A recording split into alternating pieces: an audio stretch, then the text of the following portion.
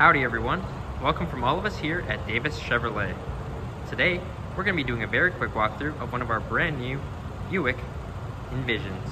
As we take a step inside, we can take a look at those beautiful seats. Look at those, I love that design. We can take a peek at some features sprinkled throughout, like here on the left of the driver's side, we have some lighting controls as well as some HUD or heads-up display controls. On the left of the steering wheel, we have some cruise controls, the following distance indicator button, and the heated steering wheel button. On the right, we have some hands-free touch controls as well as dash controls, leading us down into the dash. From the dash, we can make our way to the center and see that touchscreen media system.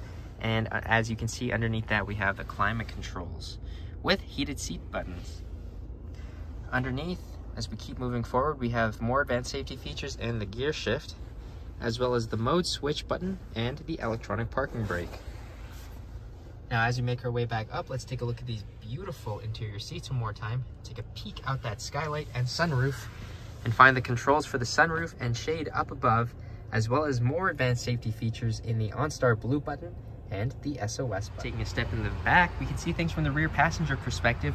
And as you can see, we have some vents and heated seat buttons for them, as well as plug-ins for their convenience and standard cup holders.